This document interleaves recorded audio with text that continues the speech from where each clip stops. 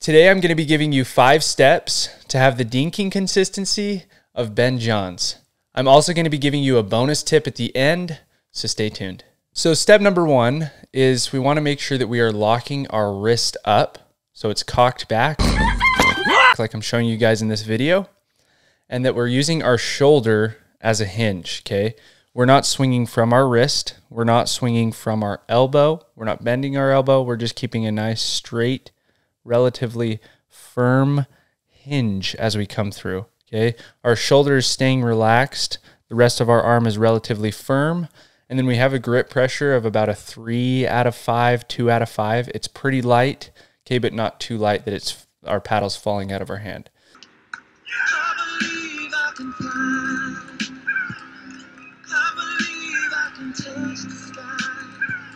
So we're keeping it light and we're using that shoulder as a hinge, regardless of if we're doing a backhand dink or a forehand dink. And the reason that you want to do this is because it relaxes your entire arm and takes away any added movements that you don't need. Because if you end up bending your elbow as you hit and you're moving forward with your shoulder at the same time, your timing's going to be off. You're going to miss hit the ball a lot more and it's not going to be consistent. That's what this video is all about. You're not going to be able to consistently hit the dink in the same spot over and over and over again because you're changing it up each time. Maybe one time you're keeping your arm relatively straight. And by straight, I don't mean that you're not bending your arm. Just to clarify, I don't mean that you're not bending your elbow. You're just keeping your arm at the same angle throughout the entire motion. Okay. You're not bending it throughout or unbending it as you hit that will cause inconsistency. Another big a big thing that I see that I mentioned earlier is your wrist. So keeping it cocked back, what regardless of if you're doing a forehand or a backhand dink, because if you don't, you're going to end up getting this wobbly fish motion, okay? And if you have that, it's going to be extremely inconsistent because you're not controlling the ball well because your wrist isn't locked up you're not controlling your shot all the way through. So make sure you keep that wrist cocked and that you're hinging from your shoulder and you keep your arm on the same angle throughout the entire motion. Because some dinks are going to be up higher, so we're going to have to bend our elbow. But the important thing is that we hinge from our shoulder and keep our keep that angle the same throughout the entire motion. Okay, that brings us to step number 2, which is shading. And if you haven't heard of shading, what it is is essentially is you and your partner want to follow the ball. So if you dink cross court, you don't want to stay out wide. So let's say your opponent hit the ball to you way out wide. You don't want to dink back cross court and then stay way out wide. You want to close towards the middle. And I don't mean you're going to hover in the middle and be directly in the middle of the court, but you want to be closer to the right side of your box. So, for instance, let's say that you are dinking odd side to odd side. Whenever you dink cross court to the other odd side, you're going to come and hug the center line of your box. And the reason that this is called shading is because you're shading over the court. So you're making the court feel small for your opponents. And the only opening that they will have is that dink back cross court because you're covering the middle, you're reaching into the court, putting a lot of pressure on, reaching into the kitchen which makes it extremely difficult for them to be able to hit any other shot or keep it short enough in the kitchen. Chances are you'll also get a pop up. Now, if your partner is dinking, let's take the backhand side. Let's take the, the odd side, for example, again.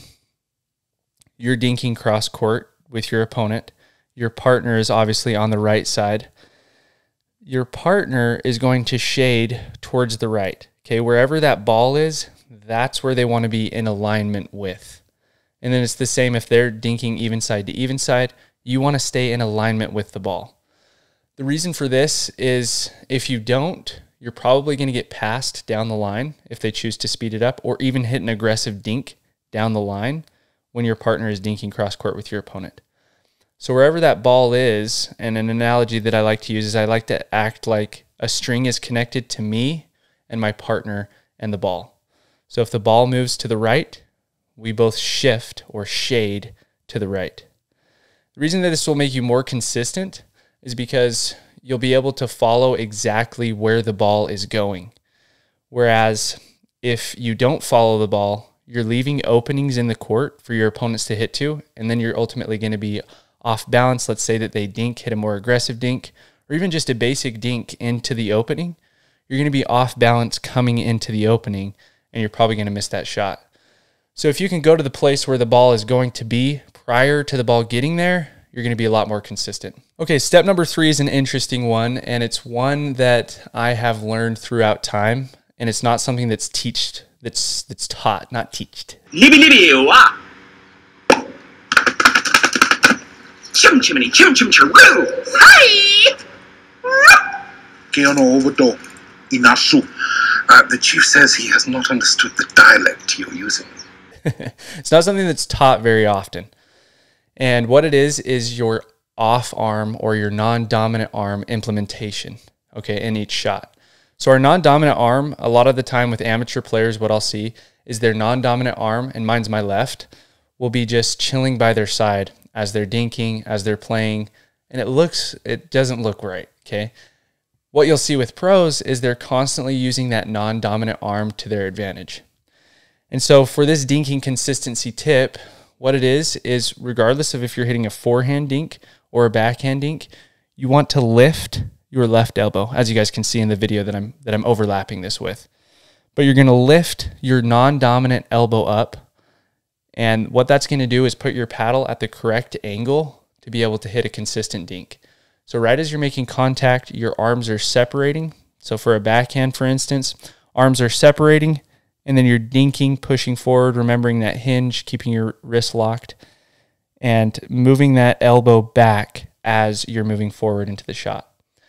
And then I'm not coming all the way up over my head with my elbow. Okay, it's nothing that feels unnatural. I'm just coming to about a 90 degree angle. My elbow is going to pop maybe slightly above my my rib cage because I'm hunched over, right, hitting that dink.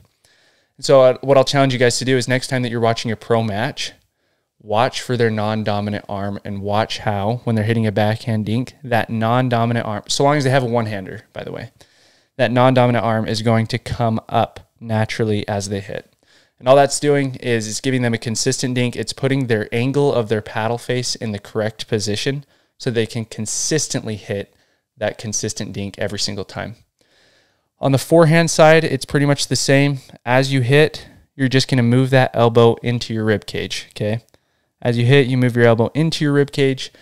What that's going to do is keep that consistency there. Uh, you're going to consistently have the same angle on your paddle face because it's opening your shoulders through the shot as you hit.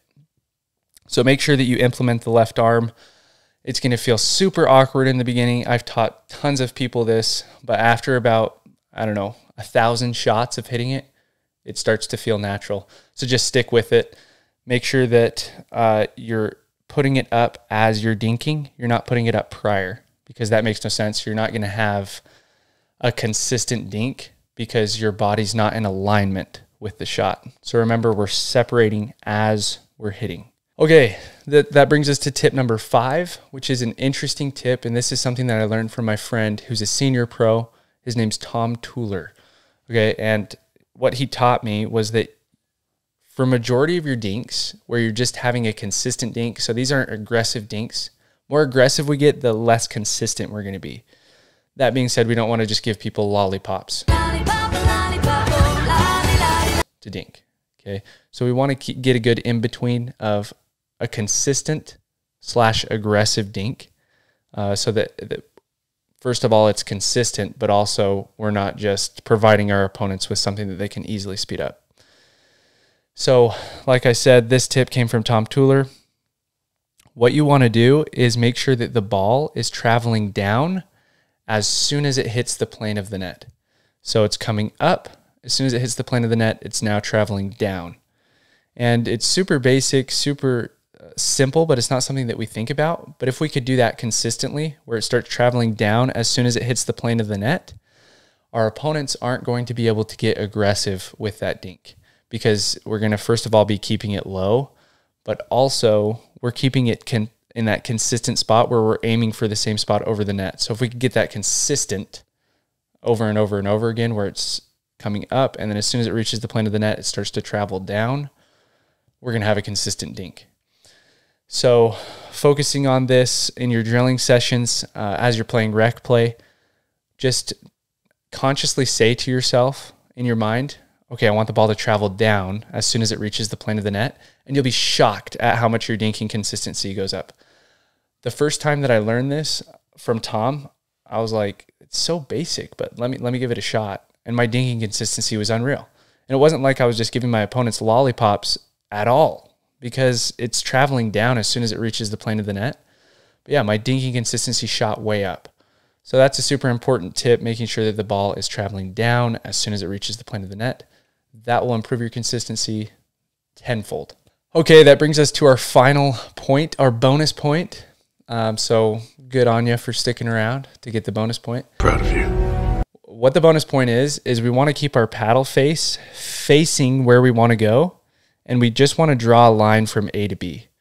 And so, what I mean by that is, as we dink, okay, so we're keeping all other tips in mind, keeping that hinge, keeping our wrist locked, we're going to keep our paddle face facing our opponent, facing where we want to go. We don't want to roll it over, right? As we hit, that's going to be very inconsistent. The timing is going to have to be pretty near perfect to be able to hit a consistent dink. So I'm just keeping my paddle face open and I'm pushing through the shot consistently, consistently each time. Now, if I'm hitting a topspin dink, it's quite a bit different, right? Because I'm coming over the ball. So I kind of need to create that burger flipping motion, right? Where I'm windshield wiping over the ball.